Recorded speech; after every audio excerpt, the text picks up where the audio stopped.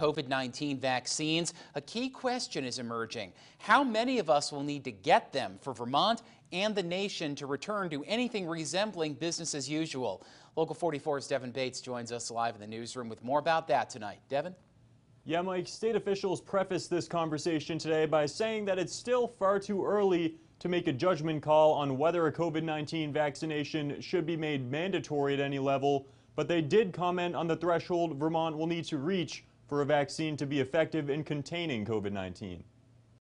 It's going to be important uh, for us once we determine uh, that there are some safe vaccines out there uh, that uh, we ask Vermonters to, to, to do this voluntarily because we don't get above a certain uh, percentage. It's just not effective uh, to, to counteract this virus. According to the World Health Organization, countries will need to have at least 60% of the population vaccinated to achieve any kind of herd immunity against the virus. State Health Commissioner Dr. Mark Levine said Vermont should be aiming for the 70% range. We know that there are not going to be large numbers of Vermonters who have already acquired some immunity on their own uh, by coming in contact with this virus.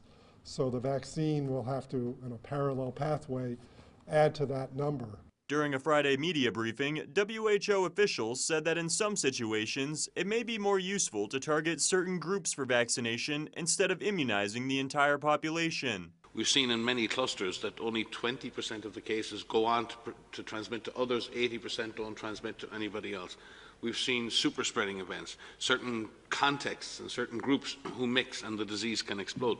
So it may be that it will take some very clever vaccination strategies to highly target people in our society who are more likely to carry, transmit and superspread with this virus. But when Vermonters begin to get vaccinated and their lives return to relative normalcy, how can they prove that they have in fact been vaccinated? Dr. Levine was asked about the possibility of state-issued cards to certify that. If you were going to have a policy of giving somebody a card, you'd have to know what exactly that card meant.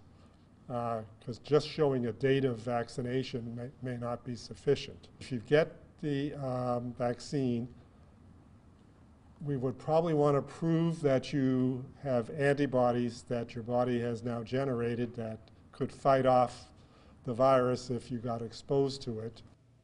Dr. Levine also mentioning today that he took part in a call with a number of hospitals that informally surveyed whether or not their staff would get a vaccine.